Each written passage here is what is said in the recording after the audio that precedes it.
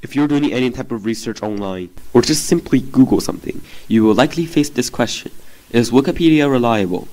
Well, the answer to this question might be more complicated than you would think. In this video, we will explore different reasons about whether you should or should not trust Wikipedia. And at the end of this video, I will talk about my own views on the topic. One of the main criticisms of Wikipedia not being reliable is that anyone can write anything on the website without citing sources or having any expertise on the article they're contributing to. As long as they are human, of course. But it is going to bother you because you're human, and, and I was human. I am human, still. Um, which leads us to the first reason that you shouldn't trust Wikipedia. Its open editing system often leads to untrustworthy results. Okay, so there are times when Wikipedia might produce inaccurate information, but besides being inaccurate, the content might be biased towards one side or the other. Now, as we mentioned previously, anyone can contribute to Wikipedia. Not only are the contributors not guaranteed to be reliable, they might be biased in their writing.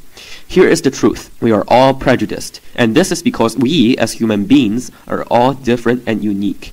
And since we are different, we can't be expected to be unbiased. Also, if you want data, statistics, and real-time information, Wikipedia might not be the right place for you to go.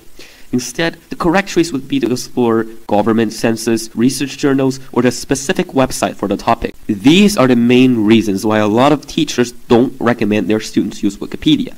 And by now you probably understand their reactions when students do use them. No, God! No, God, please, no! No! No! No! But everything I just said is nothing new. Wikipedia has been criticized so often that chances are that you have already heard one or more of the reasons above. Surprisingly, there are a few reasons why Wikipedia is useful, and we will now take a look at each of them. I mentioned previously that Wikipedia allows its users to edit articles, and while it might cause some issues, it also gave rise to a large community of voluntary fact checkers who monitor the articles to make sure that they are well written, easily comprehensible, and factual. Now, Wikipedia is a non-profit and operates on user donation, which means that it don't hire a bunch of people to do the fact checking, but the people doing it aren't expecting payment either.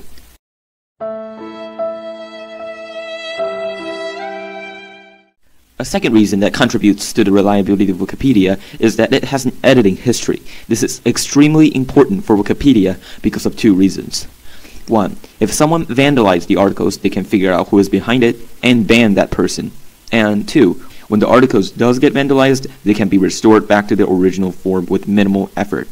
Remembering how Wikipedia has a team of fact checkers, part of your job is to make sure that the articles aren't demolished Speaking of fact checkers, it is also a good time to mention Wikipedia's citation features, which, as the name implies, allows editors to cite external sources like websites, articles, and research papers. If you scroll to the bottom of a Wikipedia article, under references, you will find a lot of MLA citations referencing to the original source. However, it is important to note that not everything in articles have references, so you might want to be careful when using the citation feature to decide what information to trust.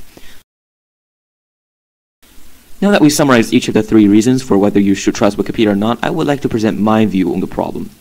Overall, I think that Wikipedia is a great tool if you want to get some general information, but it's not so great when it comes to uh, opinions or other sensitive topics.